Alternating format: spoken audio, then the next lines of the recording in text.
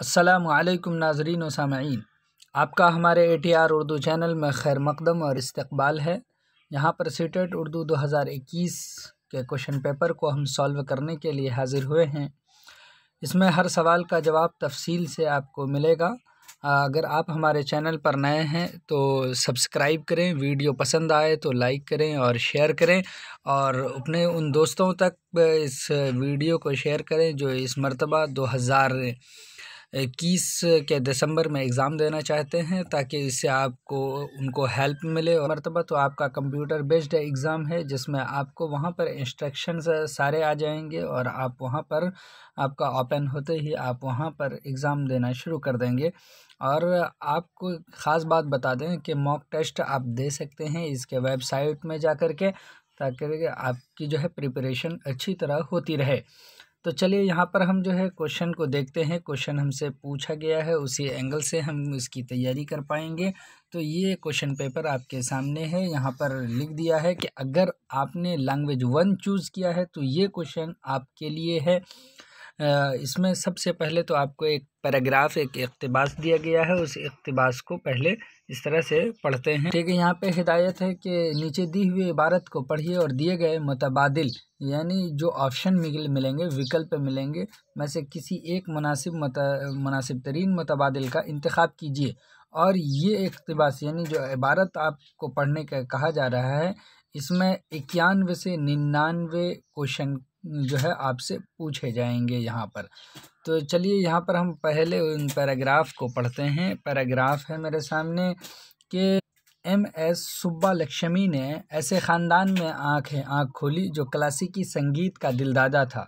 उनकी वालिदा वेना वीना बजाने में और दादी वायलन बजाने में कमाल रखती थीं। सुब्बा लक्ष्मी ने संगीत की इब्तदाई तरबियत अपनी माँ से हासिल की। सुब्बा लक्ष्मी की आवाज़ और गायकी में फितरी हुस्न था। जब उनके वतन में, जब उनके वतन मधु मदुरई में उनकी शहरत फैली तो उनकी वालिदा ने उन्हें मद्रास ले जाने का फ़ैसला किया ताकि दूर दराज के लोग भी उनकी सलाहियत से आगाह हो सकें। इस ज़माने में स्टेज पर औरतों के गाने का रवाज नहीं था, लोग उसे मायूब समझते थे।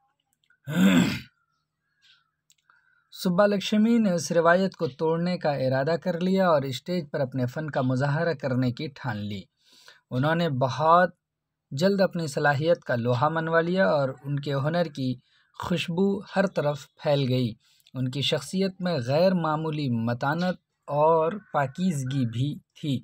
लोग उनकी आवाज़ से मोहब्बत करते थे और उन्हें एहतराम की नज़र से देखते थे। ये है कि ये जो हमने अभी पढ़ा ये पैराग्राफ है और अगर इस पैराग्राफ को आप देखें तो यहाँ पर आपको कुछ क्वेश्चंस मिलेंगे जिसके आंसर आपको करने होंगे और इसी पैराग्राफ से अगर आप समझ गए हैं तो इस पैराग्राफ से आपको आंसर करना बहुत इजी हो जाएगा। आपके सामने सबसे पहले तो हम ये कहेंगे, इक्यानवे नंबर क्वेश्चन है, पूछा जा रहा है यहाँ पर, सुब्बा लक्ष्मी की आवाज़ और गायकी में क्या था? तो आवाज़ और गायकी में जैसा कि आपने यहाँ पर पढ़ा है, उनकी आवाज़ और गायकी में फ़ितरी हुस्न था। तो इसका सही जवाब है ऑप्शन तीन की फ़ितरी हुस्न था। इसी तरह से अगर देखें, ये क्वेश्चन नंबर बानवे आपके सामने। अब यहाँ पर ये रहा कि सुबह लक्ष्मी की वालिदा ने उन्हें मद्रास ले जाने का फ़ैसला क्यों किया? उनको मद्रास ले जाना चाह रहे थे। मद्रास ले जाने का फ़ैसला इसलिए किया। यहाँ पर आप देख रहे हैं, ये है कि दूर दराज के लोग भी उनकी सलाहियत से आगाह हो सकें। इसका सही जवाब ऑप्शन टू है। चलिए, सवाल नंबर तिरानवे देखिए। इसी पैराग्राफ से है कि पूछा जा रहा है कि उस ज़माने में स्टेज पर औरतों के गाना गाने को क्या समझा जाता था? तो ये कहा गया कि उस ज़माने में औरतों के गाना गाने को मायूब समझा जाता था। तो इसका तीन ऑप्शन सही है। सवाल नंबर चौरानवे है कि सुब्बा लक्ष्मी ने रिवायत को तोड़कर क्या करने की ठानी? सुब्बा लक्ष्मी ने रिवायत को तोड़कर क्या करने की ठानी? अपनी सलाहियत का, यानी अपने, कह लीजिए, सलाहियत का लोहा मनवाने के लिए, स्टेज पर अपने फ़न का मुजाहरा करने के लिए। तो इसका सही जवाब है ऑप्शन दो, स्टेज पर अपने फ़न का मुजाहरा करने के लिए उन्होंने रिवायत को तोड़ने का इरादा कर लिया था। सवाल नंबर अब आगे देखते हैं, जो पूछा जा रहा है उसी पैराग्राफ से है। ये आप देखिए, पूछा जा रहा है यहाँ पर कि पंचानवे में कि सुब्बा लक्ष्मी की शख्सियत कैसी थी। ऑप्शन यहाँ पर दिया हुआ है उनकी शख्सियत के ताल्लुक से तो इसका सही जवाब है ऑप्शन वन है, यानी उनमें गैर मामूली मतानत और पाकिजगी थी। चलिए तो इसी तरह से छियानवे नंबर है कि फ़न की जमा क्या है? इसका, इसकी जमा फ़नून है, इसका सही जवाब ए है। इसी तरह से संतानवे है। ये ग्रामर से आपको पूछा जा रहा है। तो अगला है, पूछा गया है कि संतानवे में कि मोहब्बत का मतजाद क्या है? इसकी, इसका सही जवाब है ऑप्शन टू, नफ़रत। चलिए, सवाल नंबर अंठानवे है आपके सामने कि एम एस सुब्बा लक्ष्मी का ख़ानदान किस संगीत का दिलदादा था? इसका सही जवाब है ऑप्शन टू, क्लासिकी संगीत का दिलदादा था। इसी तरह से सवाल नंबर निन्यानवे है, जो उसी इकतबास से है। उन्होंने संगीत की इब्तदाई तरबियत किस से हासिल की? इसका सही जवाब है ऑप्शन टू, अपनी माँ से, वालदा से उन्होंने हासिल की थी। ये एक पैराग्राफ हुआ। अब यहाँ अगला जो है, आपके सामने एक पैराग्राफ और आएगा। यानी यहाँ पर आप देख लीजिए हिदायत है और इसको आपको देख करके सॉल्व भी करना है। तो यहाँ पर लिखा है, क्या है हिदायत है यहाँ हमारे लिए कि नीचे दिए हुए शेरी हिस्से को पढ़िए और दिए गए मुतबादल में से किसी एक मुनासिब तरीन मुतबादल का इंतखब कीजिए। जो आपको यहाँ शेरी हिस्से दिए जाएँगे वो सौ से एक सौ पाँच तक उसी से सवाल बनाए जाएँगे और उसका आंसर आपको करना है। पहले इसको पढ़ लीजिए गौर से। ये अशार हैं, लो आ गया, आ ही गया बरसात का मौसम। फिर दिल को लुभाने लगा बरसात का मौसम। ये है उसके बाद है कि बागों में बहार आई, हरे हो गए जंगल, पर्वत को लगे चूमने, फिर दूधिया बादल। आमों की बड़ी डालों पर बधने लगे झूले, ये शर्त है वो झूले जो आकाश को छूले। उसके बाद है कि दुनिया सभी गाने लगी मस्ती के तराने, एक साल में आते हैं ये दिन रात सुहाने। सूखे हुए जो खेत थे सैराब हुए हैं, मुरझाए हुए फूल भी शादाब हुए हैं। ये अशार हैं, इसी से आपको इकतबास पूछे जा रहे हैं। यहाँ पर सवाल नंबर आपके सामने हंड्रेड है, एक सौ, अब यहाँ उसी से सवाल बनाया गया। पूछा जा रहा है कि पर्वत को कौन चूमने लगे हैं? कौन चूमने लगे हैं पर्वत को? इसका आंसर अगर देखें तो कहा जा रहा है, दूधिया बादल पर्वत को चूमने लगे हैं। ऑप्शन वन इसका सही है। चलिए इसके बाद 101 है क्वेश्चन नंबर। इसमें भी चार वैकल्प आपको मिलेंगे। शायर ने आमों की डालियों से झूलने की क्या शर्त रखी है? वो झूले जो आकाश को झूले, इसका सही जवाब है ऑप्शन टू। चलिए सवाल नंबर अब एक सौ आपके सामने हुआ। तो अब एक सौ दो है ये आपके सामने कि ये बरसात की वजह से खेत सैराब होने के साथ आ, कौन से फूल शादाब हुए हैं? तो इसका सही जवाब आपको तलाश करने हैं। यहाँ पर आपको विकल्प ये रहा आपके सामने कि मुरझाए हुए फूल, गुलाब के फूल, सूरजमुखी के फूल या चमेली के फूल। तो इसका सही जवाब आप तलाश करके बताइए, एक सौ दो का। इसका सही आंसर है टू। कहा है वहीं पर के गुलाब के फूल। चलिए सवाल नंबर एक सौ तीन आपके सामने है कि सभी गाने लगी। यही है। कि यहाँ पे है कि सभी गाने लगी, यहाँ पर आप स्पेस है के तराने। किस चीज़ के? मस्ती के तराने, इसमें खाली जगह में हम भर देंगे। दुनिया भी गाने लगी, मस्ती के तराने। चलिए सवाल नंबर एक सौ चार में देखते हैं। पूछा जा रहा है, दिन का मतजाद क्या है? तो दिन का मतजाद आपको अगर तलाश करेंगे तो देखिए क्या आपको मिलेगा।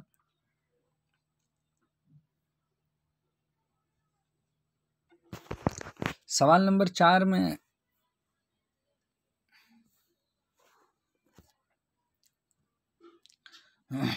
सवाल नंबर एक सौ चार देखिए, इसमें पूछा जा रहा है, दिन का मतजाद। तो दिन का मतजाद क्या है? ये आपको बताना है, ऑप्शन दिया हुआ है, दिन का मतजाद है रात। चलिए, इस तरह से ये हुआ 104 का, सवाल नंबर 105 है, शायर ने किस मौसम को दिल को लुभाने वाला कहा है। किस मौसम को दिल को लुभाने वाला कहा है? बरसात के मौसम को दिल को लुभाने वाला कहा है। सवाल नंबर एक सौ छः आपके सामने ये है। अब यहाँ पर आपको पूछा जा रहा है, यहाँ से आपको थोड़ा सा जो कॉमन सेंस वाला क्वेश्चन है, वो यहाँ से मिल रहे हैं। जो आप जिस फ़ील्ड में जा रहे हैं, उसी फ़ील्ड से मुतक़ है। कि नीचे दिए हुए सवालों को पढ़िए और दिए गए मुतबादिल में से किसी एक मुनासिब तरीन मुतबादिल का इंतखब कीजिए। 106 से 120 तक ऐसे ही क्वेश्चंस आपके सामने रहेंगे। 106 में आपसे पूछा जा रहा है, इसको बहुत ध्यान से पढ़िए और इसको समझिए। पूछा जा रहा है आपसे कि हर ज़ुबान के अपने कवायद हैं और ये, यानी हर ज़ुबान के अपने कवायद हैं और ये यानी विकल्प आपको दिया हुआ है, उसको ध्यान से पढ़कर इसको समझना पड़ता है। फिर उसके बाद आंसर कीजिए। जो भी कवायद होते हैं, ये उसूल के ताबे होते हैं, इसका सही जवाब है ऑप्शन वन। चलिए, सवाल नंबर इसी तरह से 107 पढ़ते हैं और उसके ऑप्शन पर भी गौर करते हैं कि 107 में क्वेश्चन पूछा गया है सहलिसानी फार्मूले के मुताबिक तीसरी ज़ुबान होती है। तीसरी ज़ुबान क्या होती है? तो इसका सही जवाब है ऑप्शन तीन, हिंदी और गैर हिंदी बोलने वाली रियासतों के लिए अलहदा होती है तीसरी ज़ुबान। चलिए सवाल नंबर 108 अब है कि ये भी लंबा सवाल है। इसको आप समझिए कि सवाल पहले समझिए। एक उस्ताद क्लासरूम में बेटी बचाओ, बेटी पढ़ाओ का पोस्टर लाता है, यानी इश्तहार चिपकाता, लाता है वो साथ में और दीवार पर चस्पा कर देता है, यानी दीवार पर उसको साट देता है, चिपका देता है। वो तलबा से उसे बगौर देखने यानी टीचर तलबा से स्टूडेंट से गौर से देखने और फिर उससे मुतालिक एक इकतबास लिखने के लिए कहता है एक पैसेज लिखने के लिए कहता है यहाँ ज़ुबान के उस्ताद के ज़रिए इस्तेमाल करदा पोस्टर क्या है? यानी ये पोस्टर जो इस्तेमाल किया है वो पोस्टर के बारे में पूछ रहा है कि उसको हम क्या समझें? तो इसका विकल्प आपके सामने है। कह रहा है कि इसको आप क्या समझेंगे? मुस्तनद मवाद या मरबूत मवाद या दुरुस्त मवाद या बेकार मवाद? तो इसका सही जवाब है कि उसको मुस्तनद मवाद समझा जाएगा। ये ऑप्शन वन इसका करेक्ट है। चलिए इसी तरह से कुछ क्वेश्चंस अब आपके सामने फिर ये ला रहे हैं। क्वेश्चन नंबर एक सौ नौ आपके सामने अब है। रवानी का मतलब है। जो रवानी से हम कहते हैं पढ़ने के लिए, एक बोलने के लिए तो वही पूछ रहा है कि रवानी का मतलब क्या है? तो एक सौ नौ का आंसर क्या होगा? तो वही यहाँ पे पूछा जा रहा है। ऑप्शन देख लीजिए, बगैर गलती के लिखना, कवायद के उसूलों की साफ़ साफ़ वजाहत और इस्तेमाल मुराद है उसका, या फिर जुमलों की दुरुस्तगी और अदायगी मुराद है, या फिर चौथा विकल्प है कि बर्जस्तगी के साथ अपने इजहार के लिए बोलना, पढ़ना और लिखना। तो इसका सही जवाब है चार। यानी बर्जस्तगी के साथ अपने इजहार के लिए बोलना, पढ़ना, लिखना यही रवानगी है। चलिए सवाल नंबर एक सौ दस है, पढ़ने से, पढ़ने का नीचे से ऊपर अंदाज जे नज़र ज़ोर देता है। यानी नीचे से ऊपर का अंदाज नज़र ज़ोर देता है, विकल्प यहाँ पर दिया हुआ है। एक में लिखा है, आवाज़ बी में हिज्जे सी में जुमला डी में लफ्ज़ ई में हर्फ। कह रहा कि इसको अरेंज कीजिए, यानी नीचे से ऊपर की तरफ़ आपको जाना है। तो कौन सा विकल्प आप चुनेंगे इसमें? तो इसका विकल्प आपको चुन लेना है। एक सौ दस का विकल्प है, विकल्प तीन है। ये, यानी A B A E B D C, ये वाला। तो ए, ई तो इसका आप इस तरह से बता सकते हैं, यानी मतलब कि तरतीब इसकी हम आपको बता दें। सबसे पहले आप इस तरतीब में रखेंगे किसको? आवाज़ को रखते हैं, उसके बाद रखेंगे हर्फ को दो नंबर पे, उसके बाद आप रखेंगे हिज्जे को उसके बाद आप रखेंगे लफ्ज़ को, उसके बाद रखेंगे जुमला को। ये तरतीब है इसकी, इस तरतीब से इसीलिए वो विकल्प सही है। सवाल नंबर 111 है, दर्ज झैल में से कौन ज़ुबान के इकतसाब के समाजी तामुल के नज़रियात पर मबनी है? सोशल इंट्रैक्शन के बारे में पूछा है, कौन सा ऐसा नज़रिया है जो समाजी तामुल से रिलेटेड है? तो इसका देखिए अगर आप ऑप्शन पढ़ेंगे, ये सब ऑप्शन है, बहुत लंबा लंबा ऑप्शन है तो इसका सही जवाब है चार नंबर, यानी ज़ुबान के आमोज़गार के लिए ज़रूरी है कि उसे दूसरों के साथ मानी पर तबादले ख्याल और बहस व मुबासे का मौका मिले। तो सवाल नंबर इसका हमको समझ में आया कि चार है। अब उसके बाद एक सौ बारह हमारे सामने है। इसमें पूछा जा रहा है, जैली महारत की हैसियत से पेश गोई का ताल्लुक है।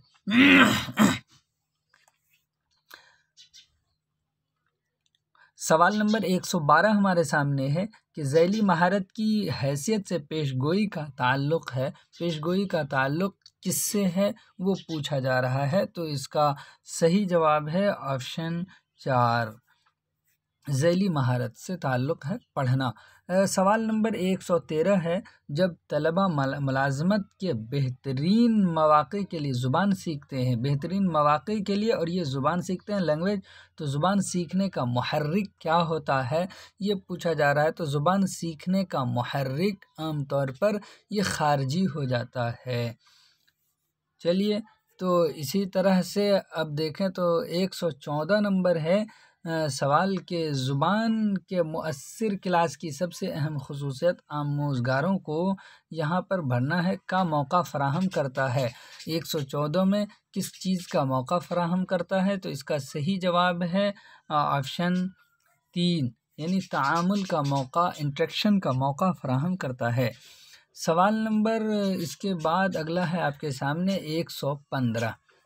एक सौ पंद्रह सवाल को समझिए, यहाँ पर लिखा है शमूलियती क्लासरूम में तदरीस के वक्त ज़ुबान के उस्ताद को चाहिए। यानी सबको जब हम शामिल करते हैं क्लासरूम में, ऐसी तदरीस अगर करें, सबको शामिल करके तो उस वक्त ज़ुबान के उस्ताद जो लैंग्वेज टीचर हैं, वो कैसे पढ़ाएँ, क्या करें, उसको यहाँ जो ऑप्शन हैं, उन विकल्प में से एक विकल्प को आपको चुनना है। अगर हम उन विकल्प को पढ़ते हैं तो हमें, ये सही है, लगता है और ये सही है। ऑप्शन टू मुख्तलिफ़ आमोजशी अंदाज़ अपनाते हुए आमोजशी अमल में उनकी मदद करे। ये सही है। चलिए इसके बाद एक सौ सोलह नंबर क्वेश्चन हम देखते हैं। पूछा जा रहा है इसमें कि ज़ुबान की महारत के लिए सबसे अहम आमिल कौन है? ज़ुबान की महारत के लिए सबसे अहम आमिल की तलाश अगर करें इसमें तो ये है कि विकल्प थ्री यानी दुरुस्तगी और रवानी को फ़रोग देना।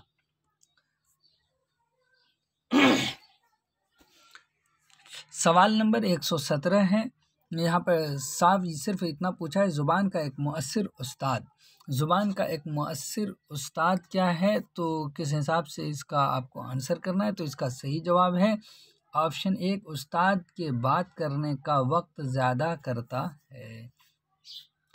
चलिए सवाल नंबर एक सौ अट्ठारह देखते हैं। एक सौ अट्ठारह में पूछा जा रहा है कि मुख्तलिफ़ रंग बिरंगे तस्वीर से मुज़ैन माहौल। यहाँ पर स्पेस है और, स्पेस है आमोजिश का हिस्सा है। यानी क्या चीज़ें विकल्प आपको चुनना है, क्या चीज़ें आमोजिश का हिस्सा हैं? अगर आप विकल्प देखें तो यहाँ पर आपको मिलेगा, ये जो है खानदगी और ज़ुबान का हिस्सा है। सवाल नंबर एक सौ अट्ठारह का ऑप्शन थ्री सही है। चलिए अगर हम 119 देखें सवाल तो यहाँ पूछा जा रहा है, माखज़ की हैसियत से कसीर लसानियत का मतलब है। माखज़ की हैसियत से कसीर लसानियत का मतलब क्या है? 119 का सही जवाब है चार नंबर की आमोज़गार की ज़ुबान का बतौर हमत अमली इस्तेमाल है। चलिए सवाल नंबर 120 है, यह पूछा जा रहा है थोड़ा सा लंबा क्वेश्चन है पूछा ये जा रहा है, अंकित आपकी क्लास का ऐसा तालब इल्म है जो नाबीना है, यानी देख नहीं पाता है। ज़ुबान के उस्ताद की हैसियत से आप क्या करेंगे? अगर आपको पढ़ाने का मौका ऐसे को मिल जाए जो देख नहीं पाता है तो आप उसको कैसे पढ़ाएँगे? तो उसका सही जवाब है, चार नंबर, कि सुर और सख्तों को बुरकार लाते हुए लफ्ज़ों को साफ़ साफ़ अदा करेंगे। छूने और महसूस करने वाले मवाद को शामिल अमल रखेंगे। चलिए इस तरह से हम इनको समझ गए हैं। अब उन लोगों के लिए यहाँ से हम पेश कर रहे हैं। जो लोग उम्मीदवार हैं कि, यानी जिन्होंने चूज़ किया है उर्दू को बतौर दूसरी ज़ुबान के। यानी दूसरी ज़ुबान उन्होंने चूज़ किया है और वो जवाब देंगे 121 से 150 तक। इसके लिए यहाँ पर एक पैराग्राफ है। उस पैराग्राफ को हम पढ़ते हैं। देखिए उस पैराग्राफ में उनसे क्या पूछा गया है। पहले तो वही हिदायत है सेम 121 से 128 तक इस पैराग्राफ से आंसर करने पड़ेंगे। तो हम वो पैराग्राफ डायरेक्ट पढ़ते हैं। पैराग्राफ है कि एक दुकानदार तिजारत की गरज से घोड़े पर सवार होकर जा रहा था। बेख्याली में शहर से बहुत दूर निकल गया और एक जंगल में जा निकला। अभी ये धुन में आगे ही जा रहा था कि पीछे से छह आदमियों ने उस पर हमला कर दिया। उसने आ, उनके दो एक बार तो खाली कर दिए लेकिन जब देखा कि वो छः हैं तो सोचा कि अच्छा यही है कि उनसे बचकर निकल चलूँ। उसने घोड़े को घर की तरफ़ फेरा फेरा। सच ये है कि दुकानदार के घोड़े ने उसी दिन अपने दाम वसूल करा दिए। कुछ देर बाद डाकुओं के के घोड़े पीछे रह गए और घोड़ा दुकानदार की जान बचाकर उसे घर ले आया। उस रोज़ घोड़े ने इतना ज़ोर लगाया कि उसकी टांगें बेकार हो गईं। खुदा का करना ऐसा हुआ कि कुछ दिनों के बाद गरीब की आँखें भी जाती रहीं, लेकिन दुकानदार को अपने वफादार घोड़े का एहसान याद आया। उसने अपने साइस को हुक्म दिया कि जब तक घोड़ा जीता रहे, उसको रोज़ सुबह शाम छः शेर दाना दिया जाए और उससे काम न लिया जाए। साइंस ने इस हुक्म पर अमल न किया और रोज़ बरोज़ घोड़े का दाना कम करता गया। यही नहीं, बल्कि एक रोज़ उसे अपाहिज और अंधा समझकर अस्तबल से निकाल दिया। तो ये इकतबास आपने पढ़े हैं यहाँ। अब इस इकतबास का आंसर आपको यहाँ से करना है। अब देखिए यहाँ पर आपसे पूछा जा रहा है, उसी इकतबास के मुताबिक क्वेश्चन। पूछा जा रहा है कि जब जंगल, जब वो जंगल से गुज़रा तो उसके साथ क्या हुआ? उसके साथ क्या हुआ? तो अब यहाँ पर देखिए कि लिखा है, जब वो जंगल से जा रहा था तो छः आदमियों ने उस पर हमला कर दिया। ठीक है, इसका सही जवाब है ऑप्शन चार। एक सौ इक्कीस का ऑप्शन चार है। इसी तरह से देख लीजिए, आपके सामने है एक सौ बाईस। पूछा जा रहा है, दुकानदार की जान बचाकर कौन घर ले आया? दुकानदार की जान बचाकर घर लाने वाला एक घोड़ा था, यानी उसका घोड़ा। इसका दो सही है। इसी तरह से विकल्प है एक सौ तेईस में पूछा जा रहा है, मालिक की जान बचाने में घोड़े का क्या हुआ? तो यहाँ पर भी आप देख रहे हैं, जब वो मालिक की जान बचा रहा था तो उसकी टांगें बेकार हो गई थी। इसका सही जवाब है ऑप्शन वन, बेकार हो गई थी। अब है चौबीस नंबर सवाल के पूछा जा रहा है, दुकानदार ने साइज़ को क्या हुक्म दिया? हुक्म दिया कि जब तक घोड़ा जीता रहे, उसको रोज़ सुबह छः शेर दाना दिया जाए। इसका सही जवाब है ऑप्शन टू छः शेर दाना दिया जाए और काम न लिया जाए। अब यहाँ पर अगला आप देखिए, उसी पैराग्राफ से पूछा गया है। आप यहाँ पर देखें 125 नंबर क्वेश्चन है आपके सामने कि साइंस रोज़ बरोज़ उसके साथ क्या करता गया? कह रहे हैं कि रोज़ उसके यानी घोड़े का दाना कम करता गया। इसका सही जवाब है ऑप्शन वन 126 देखिए, पूछा जा रहा है, जंगल की जमा है। जंगल की क्या जमा है? तो इसकी जमा वन है जंगलों। इसी तरह से अगला है कि गरीब का मतजाद क्या है? गरीब का मतजाद। गरीब का मतजाद उल्टा है अमीर ऑप्शन टू, इसका सही है। इसी तरह से अगला है कि 128 नंबर पूछा जा रहा है दुकानदार घोड़े पर सवार होकर किस लिए जा रहा था? दुकानदार घोड़े पर सवार होकर किस लिए जा रहा था? तिजारत करने की गरज से जा रहा था। इसका सही जवाब है।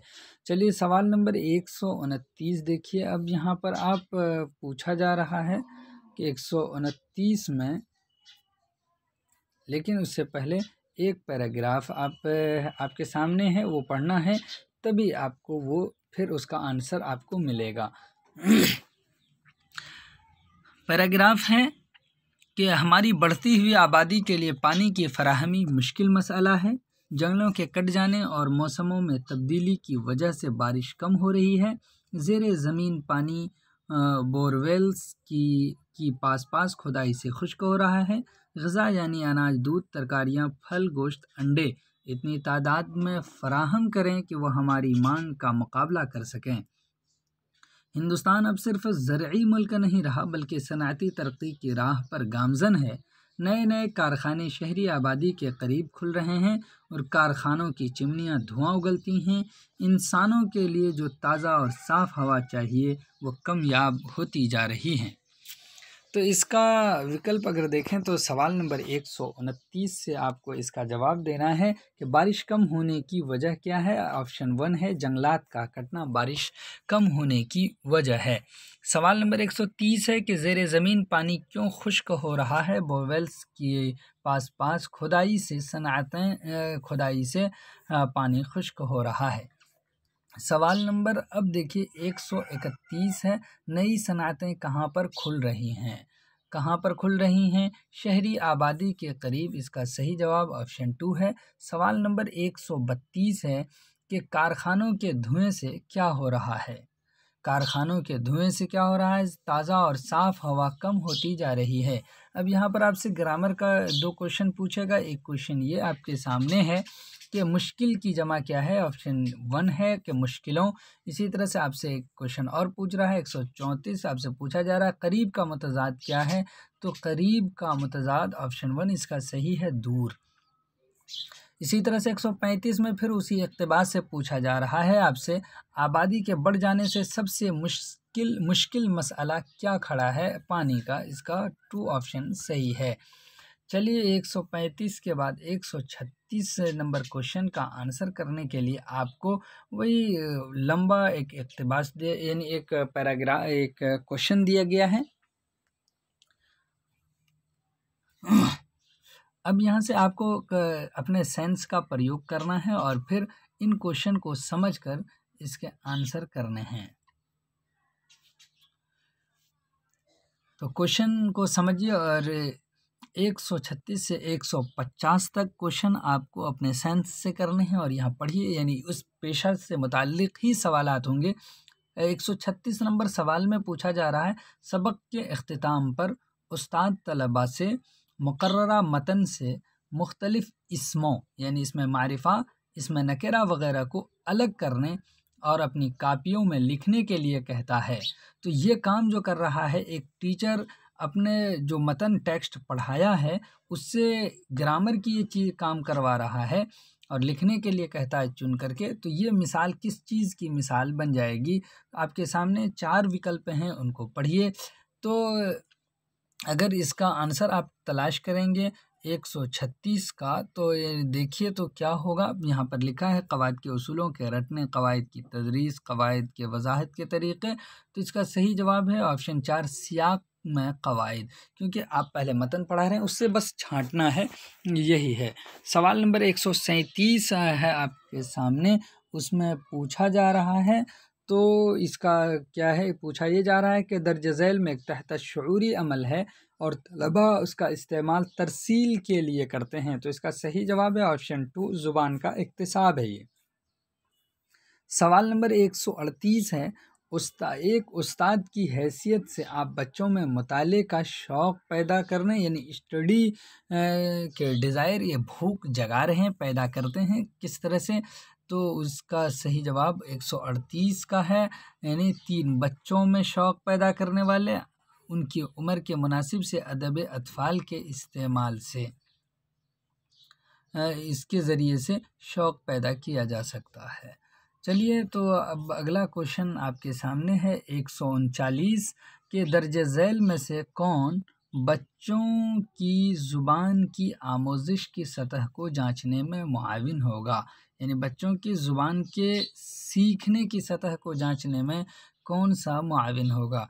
एक सौ उनचालीस का सही जवाब है ऑप्शन थ्री। यानी अपने ख़यालात और एहसास के आज़ादाना इजहार का मौका फ़राहम करना, इसी से बच्चा जो है ज़्यादा क्या करेगा? अपनी ज़ुबान की आमोजिश कर पाएगा और ये जाँच में भी कामयाबी है।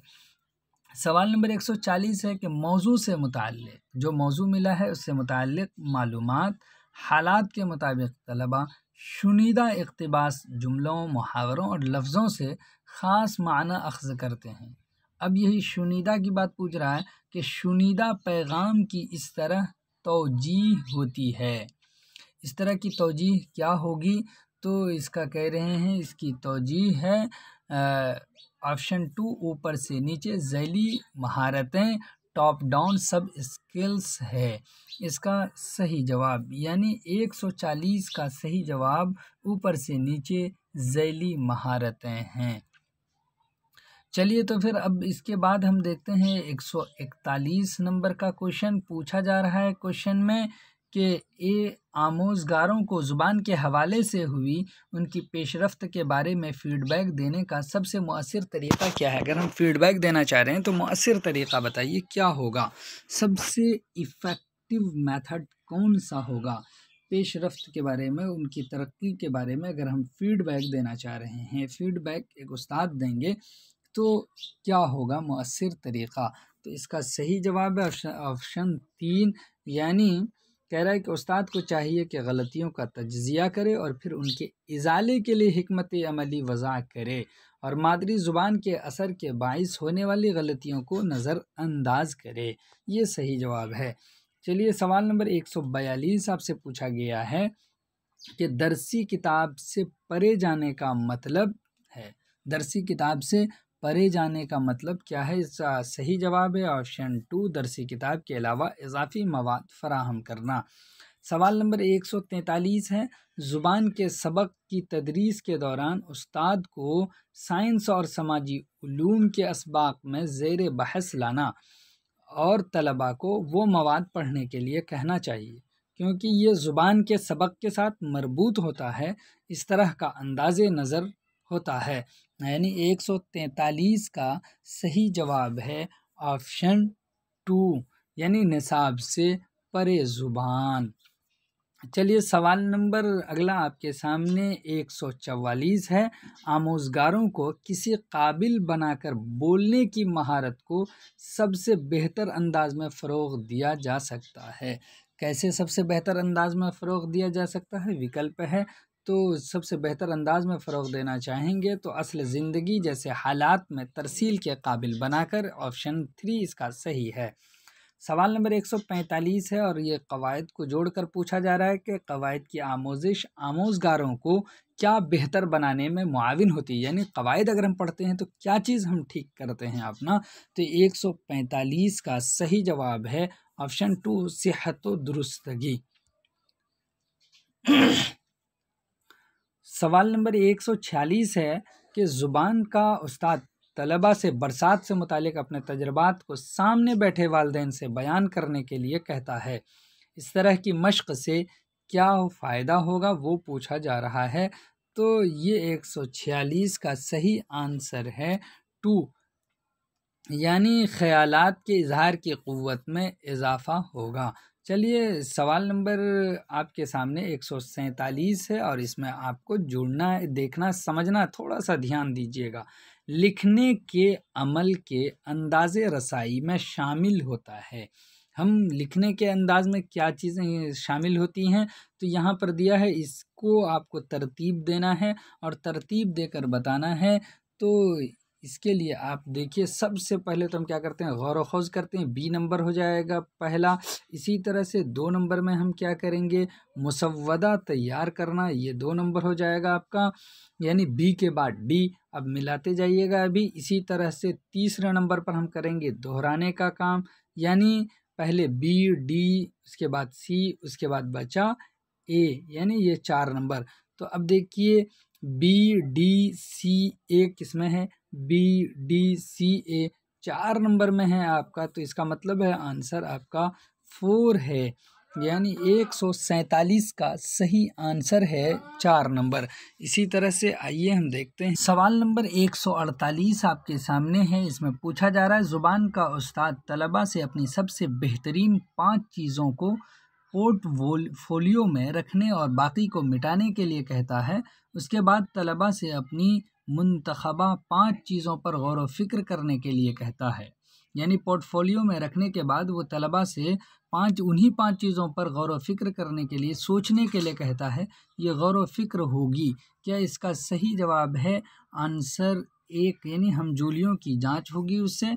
सवाल नंबर एक सौ उनचास है, इब्तदाई सतह पर ज़ुबान की आमोजिश का सबसे अहम माखज़ क्या है? यानी इब्तदाई सतह पर ज़ुबान की सीखने का सबसे बेहतर ज़रिया क्या है? इसका सही जवाब एक सौ उनचास का सही जवाब ऑप्शन एक है अदब अतफ़ाल ये सबसे बेहतरीन ज़रिया है। सवाल नंबर 150 है कि तलबा में ज़ुबानी महारतों को फ़रोग देने के लिए सबसे कम अहम सरगर्मी कौन सी है? सबसे कम अहम सरगर्मी ऑप्शन तीन है उस्ताद के बाद कहानी को दोहराना। ये सबसे कम अहम सरगर्मी है। जैसा कि आपने अभी देखा, ये क्वेश्चन पेपर है आपके सामने। इसकी ये आंसर शीट है। आप देख लीजिए कि ये उसी तरह से आंसर दिया गया है और यहाँ पर जो है हिदायत हैं। इसको गौर से पढ़ने के लिए कहा जा रहा है। इसी के मुताबिक आपकी कॉपी वगैरह चेक की जाएँगी। चलिए फिर हम मिलते हैं अगले वीडियो में। तब तक के लिए खुदा हाफिज़। अस्सलाम वालेकुम